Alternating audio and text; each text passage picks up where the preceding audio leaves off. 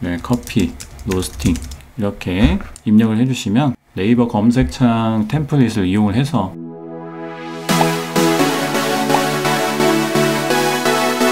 네, 여러분 안녕하세요. 빠르크입니다. 자 오늘은 네이버 검색창 템플릿 네, 두 번째 스타일을 준비를 해봤는데요 네이버에서 컨텐츠를 이용을 해서 좀 홍보를 하고자 하는 분들에게 도움을 드리고자 템플릿을 어, 나눔을 하고 있습니다.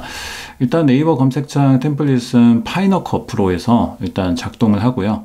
템플릿 설치 방법은 어, 오른쪽 위에 어, 추천 영상을 한번 참고해 주시면 되겠습니다. 자 우선 어, 설치한 템플릿을 일단 영상을 일단 이렇게 가져왔고요. 영상 위에서 이 타이틀 generator를 눌러서 여기에서 설치된 그 폴더, 어, 뭐 네이버 검색창이나 폴더도 있을 테고 저는 여기 어, 빠르크 타이틀이라고 하는 폴더 안에다가 이 네이버 검색창을 넣어놨어요. 자, 그래서 검색창을 이렇게 drag and drop을 해서 이렇게 가져다 주시면 되겠습니다. 자, 한번 재생을 해볼게요. 영상과 자연스럽게 합성이 되고 있는데요. 자, 여기 부분 한 10초 정도, 어, 8초 정도 되는데, 길이 같은 것들은 이제 조정을 할 수가 있습니다. 이제 길이는 조정을 할 수가 있고요.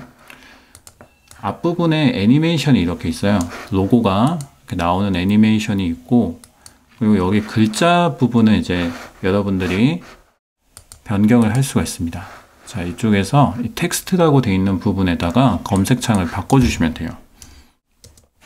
예를 들면, 뭐, 감성 캠핑, 뭐, 이렇게 넣어 볼게요.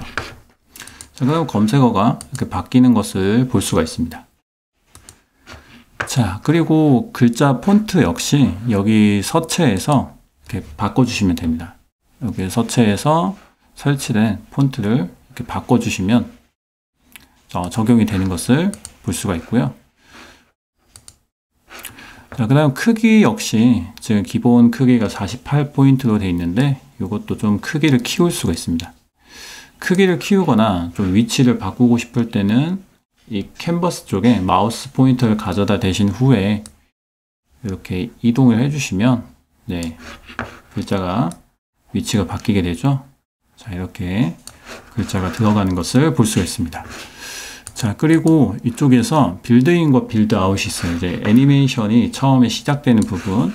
만약에 이거 체크를 해제하게 되면, 네, 그냥 이렇게 검색어만 이렇게 나오는 부분만 나올 수 있습니다.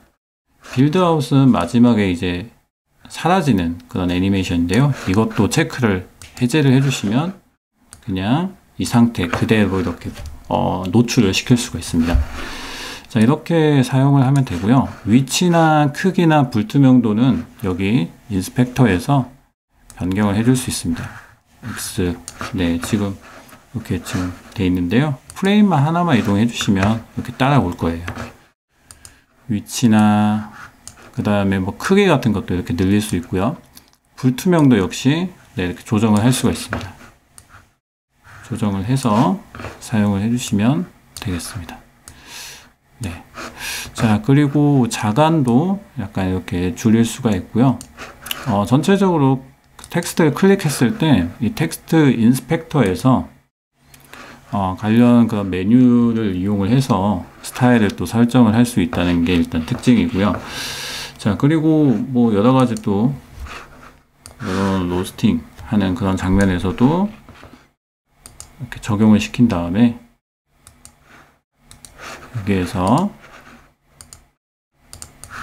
네, 커피, 로스팅 이렇게 입력을 해주시면 네이버 검색창 템플릿을 이용을 해서 네이버에서 검색을 할 수 있게 이렇게 안내를 해줄 수 있는 템플릿으로 사용을 할 수가 있습니다. 어, 사용을 하고자 하는 분들은 여기 상세 설명에 있는 다운로드 링크에 들어가 주셔서 거기서 다운로드 받고 어, 템플릿 폴더에다가 설치를 해주시면 사용이 가능합니다.